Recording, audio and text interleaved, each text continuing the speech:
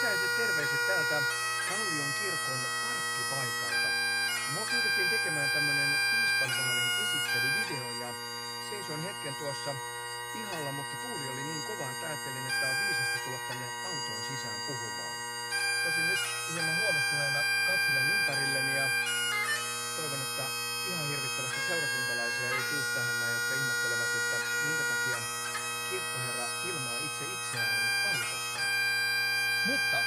katsokaapas tuonne. Siellä näkyy Kallion kirkon kirkon torni. Se torni on aivan erityisen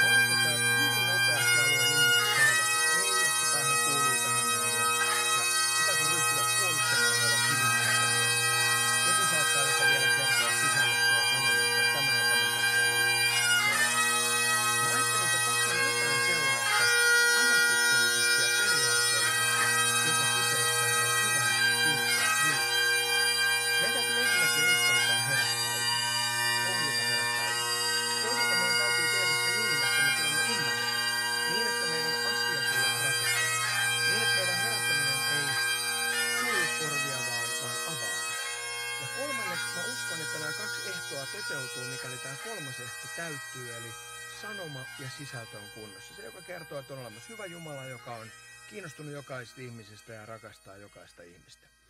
Piispan tehtävä on olla kello kellojen joukossa. Uskaltaa herättää, uskaltaa tehdä se niin, että tulee ymmärretyksi ja itse luottaa myös siihen, että sisältöjä